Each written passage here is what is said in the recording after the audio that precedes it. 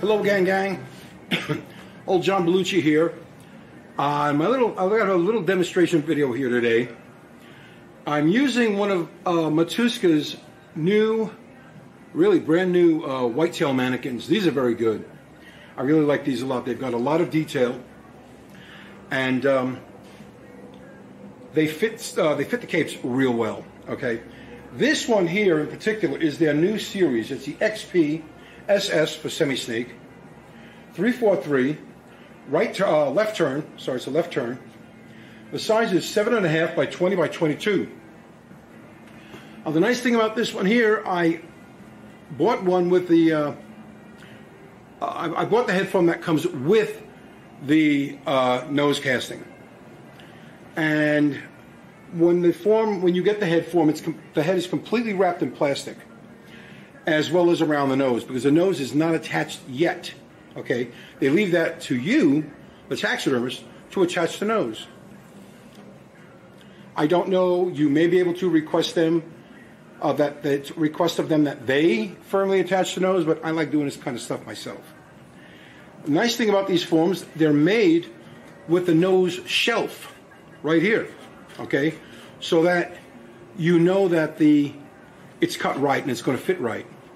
Now this is the same method I use when I cut a head form to attach a nose casting, okay, a replacement nose. Now, these are nice. They've got a lot of detail in them. Not only uh, uh, are they deep, but there's uh, there is a grain texture in the nose itself, which is very good.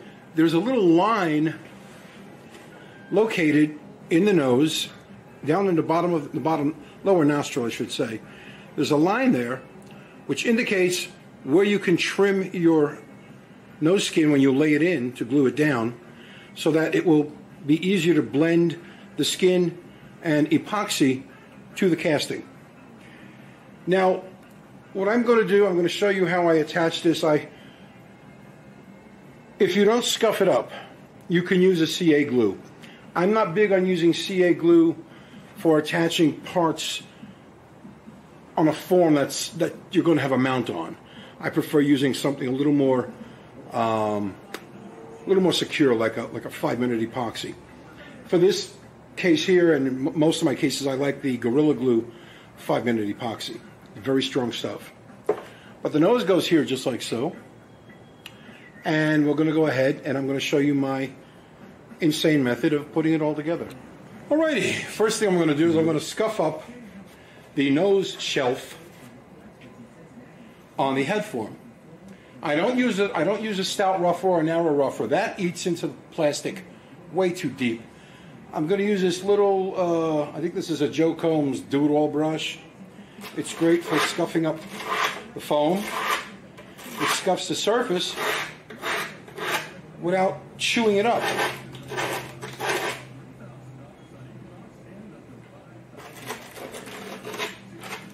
This is the smaller of the two brushes. It's just it's just a uh, a brass a round brass brush uh, brush secured into a uh, wooden dowel. That's all. But it does one heck of a job. Does one heck of a job. I use these brushes on the entire head form. I'll use a small brush to get down into the brisket area where the leg stumps are. I don't know what else to call them. I call them stumps. That's what they look like to me. I'll use this in the uh, eye sockets as well, which is preferred over, over the narrow rougher or the stout rougher. Okay, now I will use the narrow rougher to scuff up the inside, I should say the rear and underside of the nose.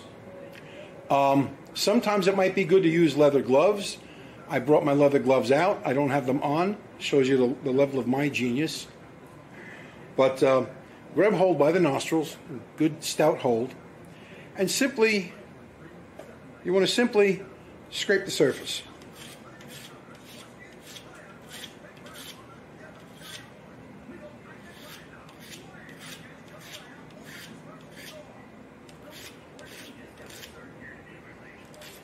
You go from front to back, or back to front, and side to side.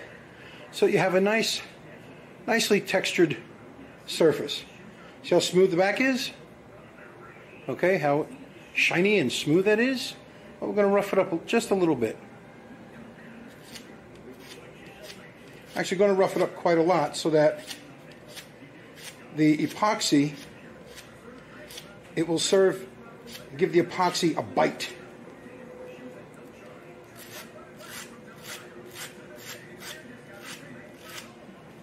Okay.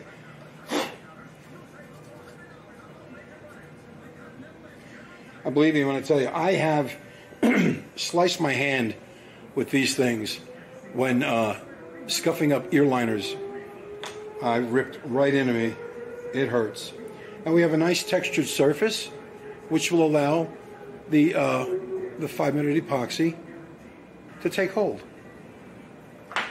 I also I hold the nose on with a rubber band and with a length of surgical tubing. And this is attached around the head. Let me get a focus on this son of a gun. There we go. Stretches and it helps hold parts in place. This is real good when you're when you're altering a form, remaking a form. Okay, I'm to squeeze. Try to get an equal amount of the five minute epoxy onto the surface of this little plastic container. This was actually the top of a, uh, I think it was top of a um, can of acetone, I believe. May have been. Mix yourself up enough. You want to get enough mixed up.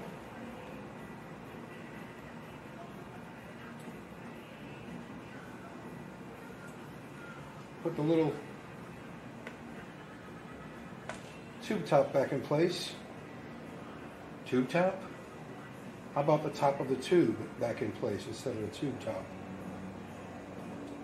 There we go. Now, take a little old craft stick, ice cream stick, mix this up really well. The two parts well mixed. Take as much time as you need to mix this. Now this is a five minute epoxy. It's not going to set up immediately. So you'll have plenty of time to mix this stuff up. Okay?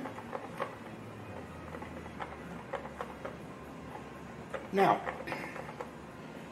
when I cut a nose off of a form using a saw or a knife, whatever I have handy at the time, whatever I'm using, usually I use a saw. Sometimes it'll be a um,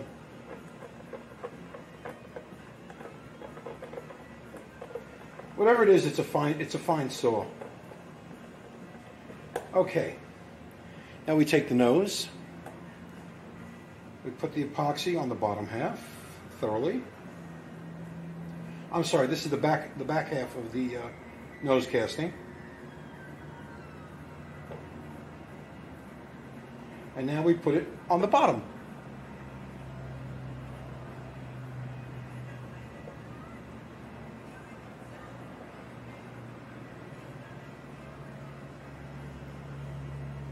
Make sure you get it really, really thickly spread at the back of the nose, the underside, and the top. Now we're going to swing on over, swing the camera on over to the form.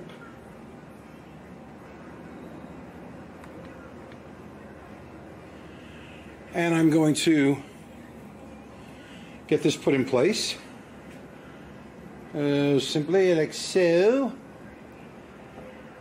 Now, First things first, I'm going to get a rubber band, or as I like to call them, a Bubba Rand, just because I can.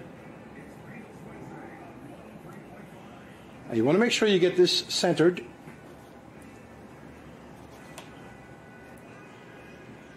Push it up as far to the back as you can. Whatever oozes out, simply wipe it away. Wipe your fingers off with paper towel.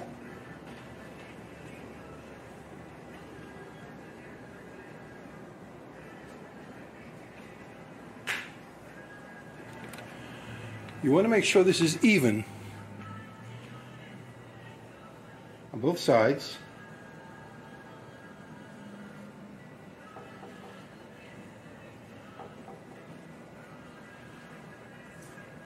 Now, I'm going to take this, this piece of surgical tubing, it has a T-pin through it. I'm going to stick it into the head form behind the eye. I'm going to come around like so. Give, give a little stretch so that you have plenty left here. You have left over, I should say. And as you relax this, well, okay, you could do it slower than that, I guess. this will help hold the nose up against the head form. This will help hold the nose up, up against the head form, okay? So now you've got the rubber band holding it in place top to bottom. Now we've got the surgical tubing holding it in place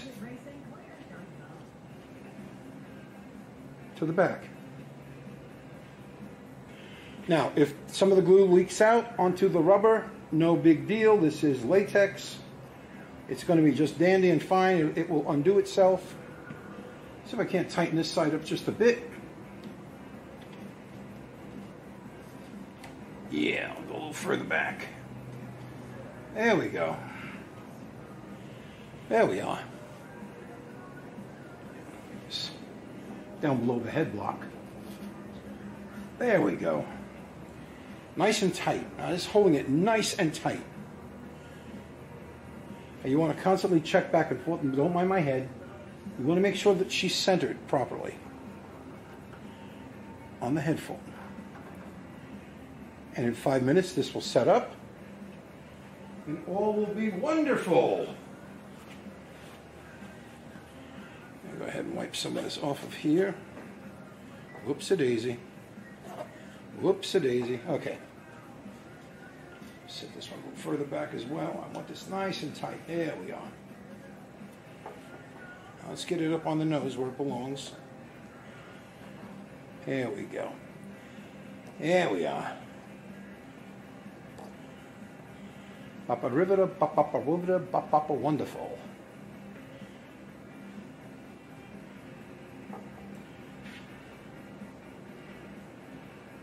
And that's where we are. This will set. Now with all adjustments made, I will just leave this until the epoxy has time to cure. Uh, it's about it's about 52, 54 degrees out here today. So it'll probably take a little longer than usual, than normal to set up. Uh, normal course of events, it'll take about five minutes. Temperatures of 50 degrees or less, it can take up to 10, 15 minutes to fully set before you can release the nose from bondage, as it were. But this is a really, really good way to have a good two point security system, top to bottom, side to side. And this surgical tubing is the bomb. Uh, that is also sold by Matuska, just so you know. They sell the surgical tubing.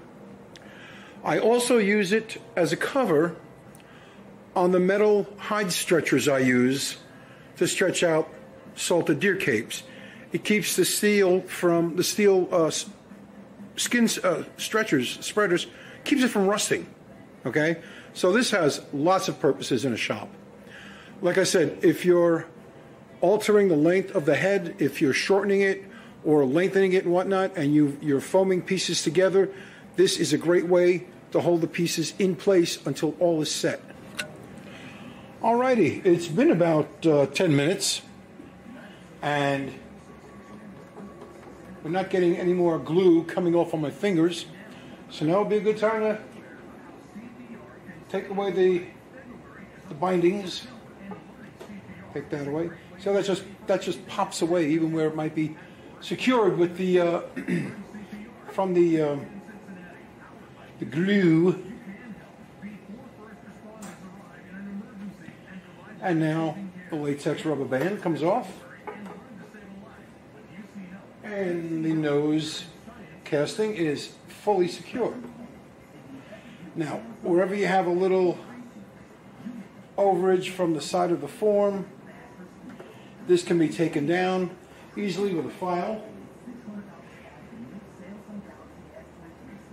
I don't have one at hand. It's, it's over in the tool chest. But here we go. The nose is now secured. Well, here we are, back in about the same position we started in, except this time, I got my shades, got my hat. That means I'm finished on this for now.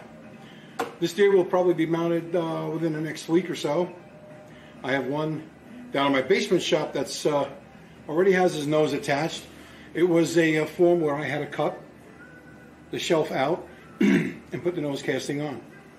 Same large, uh, the same size large, or large size nose, I should say. But this is good and secure. She's not coming off. And um, success. That's how I attach a cast nose to a form. I've used Matuska noses, I've used Champion's Choice noses. I like them both. There's not one better over the other. I like both of them. Um, as a large form goes, the Matuska has the larger nose.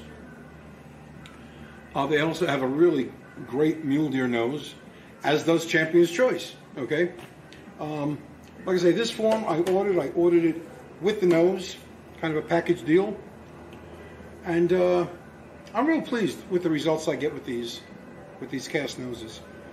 And I'm, I'm as old school as it comes, man. I used to carve the nose out, file and sand it inside, uh, model the surface down with sculpting epoxy, uh, made sure it was pre-painted and whatnot. Then, you know, tuck the nose in and secure it down with the CA glue. That's where I would use CA glue would be uh, skin to the nose. These days, though, I prefer the uh, Pro One Premium Hide Paste, even to hold the nose skin in place. I no longer have to worry about pinning the nose skin in place. I simply tuck in a ship load of plastic, plastic bag, what have you, into the nose. Uh, it's good to save your plastic shopping bags from your grocery shopping. Those are great for stuffing into the, in, into a nose. Okay, those are great. They stuff all the way in. They expand once they're in the nose. They work wonderfully. So that's where we are with this project. This deer's nose is secured, and it's time to get mounting on some more deer. So until we see you again, adios amigos. We'll see you when we see you.